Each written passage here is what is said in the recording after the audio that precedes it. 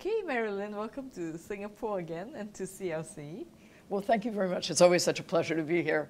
I think that uh, over all these years, I've learned more from being here than yeah, I brought, but it's great to exchange great ideas. to CLC and to Singapore. So you have been here, you know, um, since the 1980s, and you were personally involved in the planning of downtown Marina Bay in the early 2000s as a partner of Skidmore, Owings and Merrill. What were some of the key thinking and considerations that went into SOM's master plan for this area? If you could share that with us again. Uh, well, it was a delightful surprise uh, to uh, uh have an opportunity to work on Marina Bay. I had first arrived in Singapore to work on projects a few years before. Uh, and the first project we worked on was the construction of the original part of the Red Line, which extended from Marina Bay and went out toward the airport, stopping at Tanah Merah. So we had an opportunity through having worked on that, that transportation project, that connective project, to understand how important Marina, was, Marina Bay would be mm-hmm. for the expansion of the CBD, which in the mind of the city leaders at that point was already getting pretty crowded uh, think about how much has happened since then, and there would be an opportunity to extend it. We were made familiar with some of the wonderful and uh, uh, really optimistic planning that had been done and the schemes that had been put together by both Kenzo Tange and IM I think what was different was that by then, Singapore was very, very focused on remaining, retaining its strong position as a place for the international and globalized firms mm-hmm. to come and locate. So as technology was beginning to appear on the scene, it was clear that the central business district needed to expand and in particular needed to provide a place where emerging technology companies, where financial investors, where the international group of firms and businesses that was, in many ways, directing the flow of international capital. So Singapore wouldn't be a great place for them to locate. Mm -hmm. Right, and now that you have seen that part of the plan has been, has been implemented and you know, we have the new downtown uh, by Marina Bay. Um, has it turned out to be the way that you have envisaged? That it would be and what you like most about the area today? You know, when you work on very big master plan visions, uh, you have to be clear with yourself mm. that you're setting a framework for development. And if you have lived up to the expectations that you set for yourself and that your client has set for you, you know that it's just a starting point where things are going to change. I sometimes get frustrated now when there are 20-year master plans and people still think, oh, well, it said that we're going to do this here and this kind of block and this kind of building. And it doesn't really work out that way. The market comes and good government responds, keeping the principles alive, but changing things. Uh, near the end of the planning work we did for Marina Bay, we came up with a concept that I liked very much from the beginning. And I want to call attention to it because I think it's one of the strongest parts of the Marina Bay Plan. It became clear that development in the new area could feel very isolated from the hotels to the east and from the CBD, which was immediately across Shenton Way, but might have seemed quite far. So we came up with the idea that what we needed was a pedestrian walk around the entire perimeter of the bay, which would cross the river twice, go up the east side, and come back around. As I recall, it was about a two kilometer walk or so, maybe not for the daytime mm -hmm. so much in Singapore, mm -hmm. but certainly wonderful in the nighttime with the way we envisioned this new body of water uh, bringing people to the water and creating value and creating new experiences. So the fact that that was taken in hand and implemented strongly, I think had a powerful influence on the positive way that certain aspects of Marina Bay have turned out. It opened the door to something that had not been envisioned.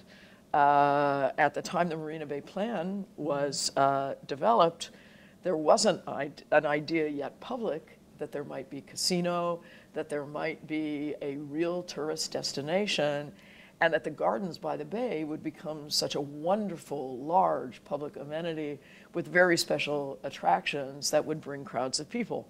So I'm very glad that those pieces of the plan came together to support a different land use than we had originally intended, but one that I think is very, very strong. Right, indeed. I remember taking walks around the promenade, and it's it's very much the buzz uh, of Marina Bay, uh, and and it's that promenade uh, is kind of the route to appreciate, say, like I like Marina Bay and so on. So I think it's been a very successful public space.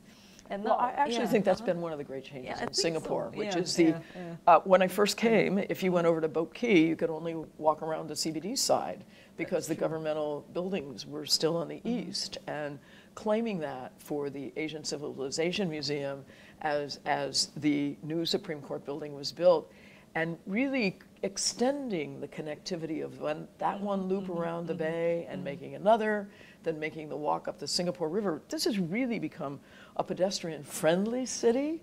Uh, if you choose your time and walk at the right pace, I think it is something that truly knits all the, the districts of the central area of Singapore together in a really delightful and special way. Yeah, great. And you had a big hand in that. a small one. okay, and over the past few years, um, we have seen many cities around the world um, coming up with uh, new kinds of workspaces that provision for leisure and social amenities and the design of public realms. For instance, we've seen the increase in demand for more flexible co-working spaces and the rise of millennials in the workforce. So how do you think cities should respond to these trends and demands in order to stay livable and attractive to businesses and residents alike? So if we think about Marina Bay and what we originally intended there, yeah.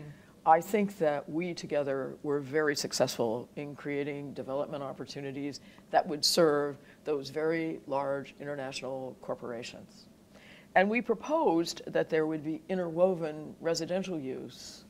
I think we didn't quite envision that the development of the economy would mean that each one of those parcels really started to become priced and planned to fulfill its maximum possibility rather than introducing a variety of building types and a variety of building so sizes mm-hmm. so that different businesses could also participate. And of course, the world has moved very quickly to a fascination with something that's becoming very essential to our future, which is how do we move away from the large, highly skilled, highly directed, and generally highly profit oriented organization to incorporate the scrappy startups, the people with a new idea.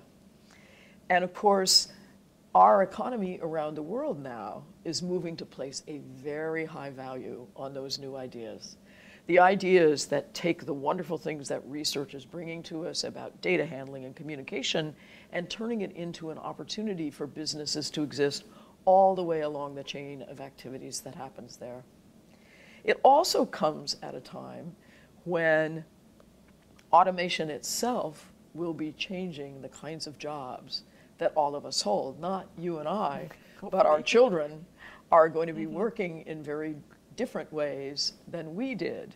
And they're going to be perhaps changing jobs more often, moving on more quickly, but they are finding themselves capable of working in very collaborative ways sharing ideas that help everyone move forward together.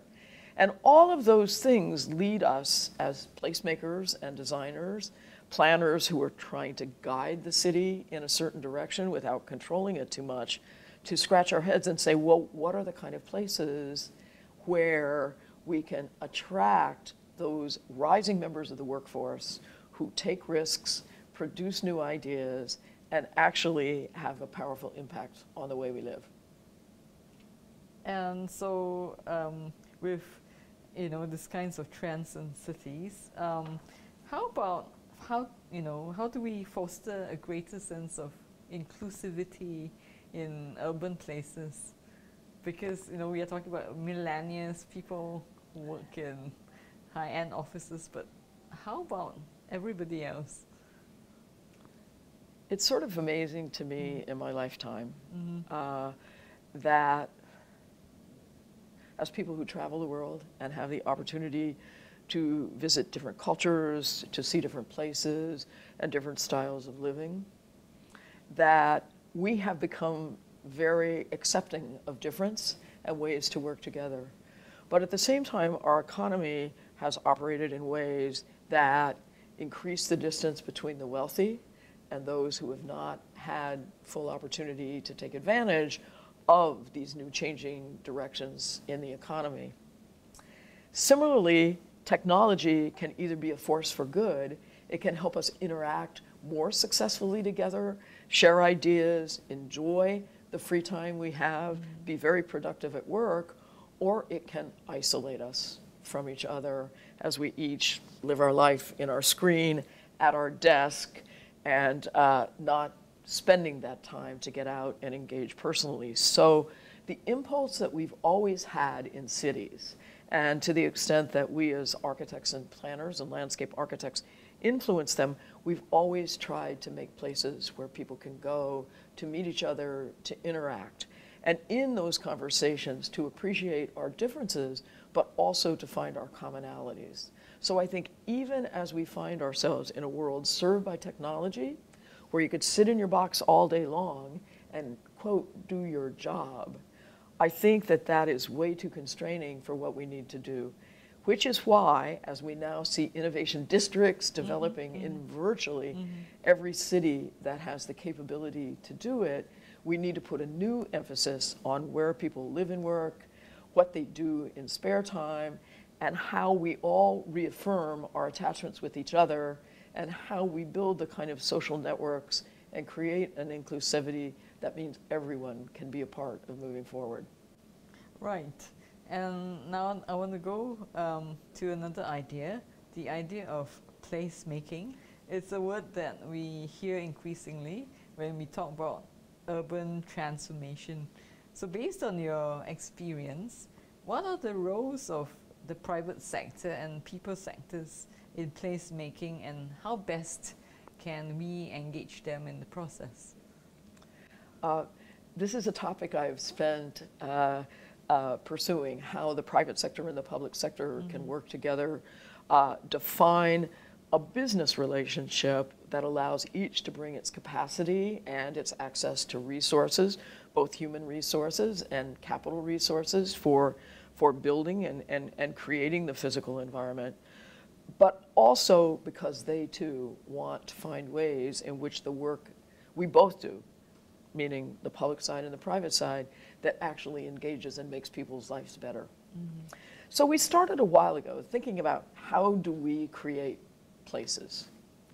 Well, it used to be we went to market, and then that became a supermarket. So then we invented uh, uh, places of attraction on the waterfront, where we went with our leisure time.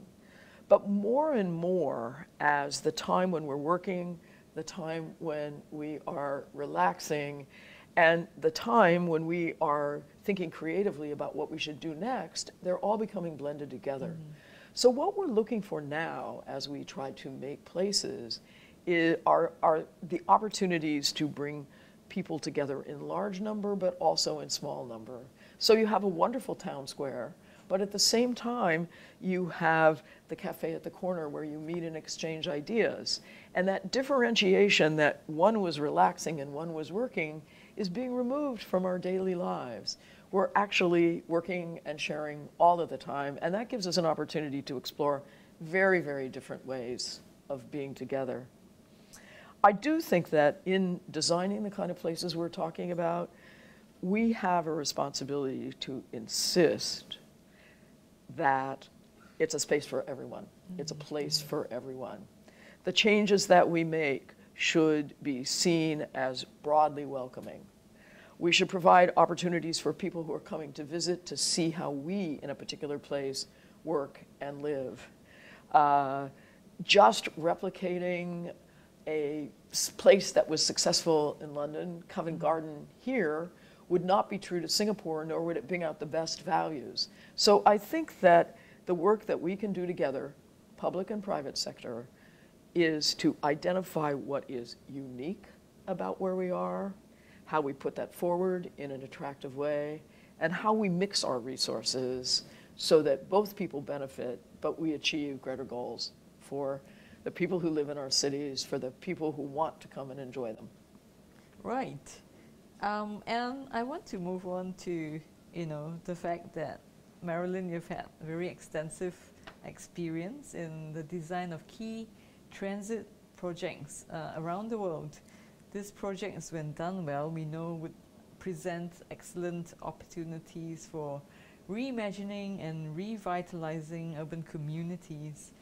For the planned high, street, uh, high speed rail from Kuala Lumpur to the new terminus that will be located at Jurong Lake District in the western part of Singapore, what would be your advice for planners uh, in order to harness the catalytic effects that such projects could lend to districts uh, that house these projects? Well, that's a fascinating question that, uh, that uh, takes years to figure out.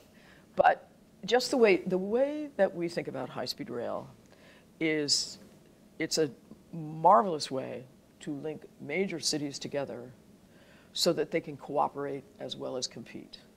And the evidence exists around the world, beginning with the Japanese and the European who built these systems first, that that ability to collaborate, to meet face to face, not just over the internet, not just in terms of Skype, promotes in a relationship sharing of ideas in ways that are absolutely terrific. We also know that cities who prepare for the arrival of high-speed rail can capture even bigger benefits. If you have a decreased time of travel and you arrive in a center place where there are a number of destinations, where you can meet the people you want to do business with, where you can enjoy the culture of the place that you have come, that creates a new form of location, location, location. Mm. And it can be the catalyst for attracting the private development that is absolutely essential to achieve the public goals we set forth for our cities. So you find that around these stations, there is the capacity to build literally million square feet of millions of square feet of mixed use development that are flexibly used, inhabited by different groups of people because they enjoy being in immediate proximity with each other mm-hmm. and getting to know each other as the basis for doing the next deal and for accomplishing the next improvement. It's very exciting to me that infrastructure actually becomes not a physical system governed by its own laws, mm-hmm. but essentially a means for getting people together ever more conveniently and ever more effectively. Right, and I think, you know, uh, in, in all the ideas you've shared today, you have always emphasized uh, the need to build communities instead of just infrastructure. And I think that has uh, been a pervasive part of your work and of the discussion today. So we learned a lot from you today, and I've had several insights, you know, from what you just said. So thank you very much, Marilyn, and um, you know, we hope to see you more and more often in Singapore now that you have a little bit more time for us. Well, I uh, am always incredibly uh, uh, delighted to be invited back because working together with you uh, is a way that we get to exchange ideas and we each get to learn.